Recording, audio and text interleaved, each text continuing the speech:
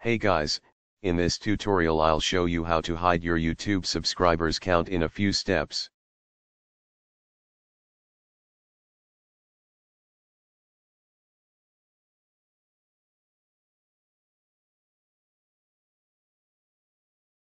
My subscribers are being displayed.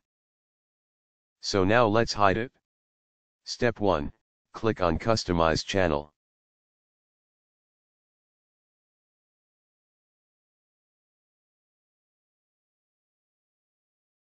Step 2, go to Settings.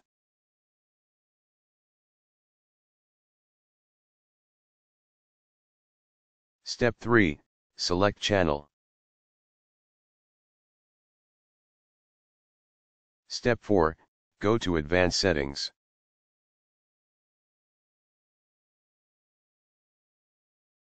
Step 4, scroll down till the subscriber count and uncheck the box.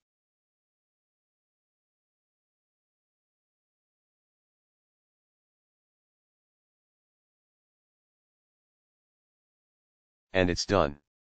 Now let's go back to see if it worked.